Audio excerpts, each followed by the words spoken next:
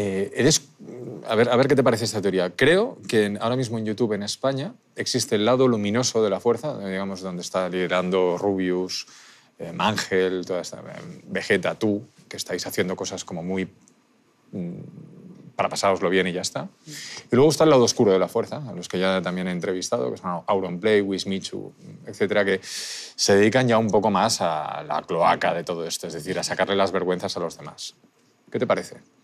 Bueno, no sé, yo lo he repetido mil veces. A mí, personalmente, cuando... O sea, fuera de que hemos tenido rifirrafes entre algunos mil veces, porque Ahora lo- iremos a eso. es lo que tiene, pero no sé, a mí, a mí personalmente no me gusta criticar el trabajo de los demás, No, el salseo no lo queremos. porque... No, el salseo sí, pero el salseo sano, no, no, no el que puedas vender en un libro. Exacto, salseo gamer.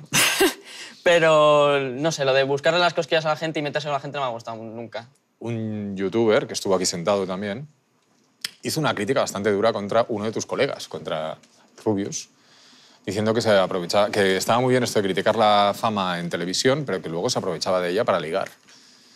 Aprovecharse de eso. Sí, ¿Pero en qué sentido? Ya, hola, soy el Rubius y vente conmigo. Eh, Lo dijo así, tal cual. Irle a alguien y decirle, hola, Sí. soy Rubius, Sí, lo dudo mucho. sí. No, no lo sé, pero decirle a alguien eso. Vamos, lo primero que piensa la, la- la que se lo has dicho es en plan, tú eres tonto, o sea, ¿qué te pasa en la cabeza? Pues seguramente, sí. No creo que haya hecho eso, vamos. Otra cosa es que te venga, claro, te viene un, una fan y te dice, hola, ¿qué tal? ¿Qué ¿Cómo estás? Pues obviamente, pero vamos. ¿Tú lo has hecho eso? No. Pero yo porque nunca he tenido mucho éxito con las mujeres, ni, ni antes ni ahora. Ah, no. venga, va. No, no, es verdad, joder. Venga, Es verdad. a otro con ese cuento. ¿Es verdad? A otro con ese cuento, tío. ¿Es verdad? Que no es verdad. Que sí. Que no me... Bueno, bueno, vale, vale, no es verdad. No, no, no. Es, es que ahí es donde no, Es que no te lo voy a permitir, tío. O sea, que vengáis aquí a mentir, no. Si venís aquí, venís a decir la verdad. Bueno, vale, engañados. He sido un Casanova toda mi vida. No, un Casanova no. No. Y me voy a poner serio en esto. La fama conlleva una serie de consecuencias positivas y negativas. Entre las negativas está que hay mucha gente que te va a admirar por mucho más de lo que eres.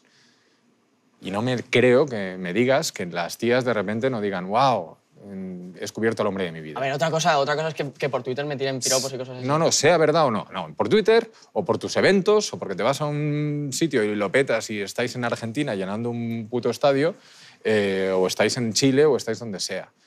Y eso conlleva unas consecuencias. No me digas que no, tío, porque Sí, sí, entonces no te creerías. Como si me dijera que los Rolling Stones no follaron su vida. Diría, pues me mienten. Pero pali, no he ligado en una discoteca. Bueno, eh, casi nunca, ¿vale? Pero... ¿Ves? No, pero... ¿Ves? Pero que... ¿Lo bueno, ves? Bueno, vale. No, pero otra cosa es que tú no hagas nada, que eso yo lo respeto. Decir, oye, yo tengo pareja, como es tu caso, decir, oye, tengo pareja, sí, bueno, ya, sí. y paso de, de liarme, pero que no me digas que no te ataquen porque es que no me lo creo. Pues no me habré dado cuenta. Siempre he sido muy torpe para eso. Te lo digo en serio, ¿eh? De verdad.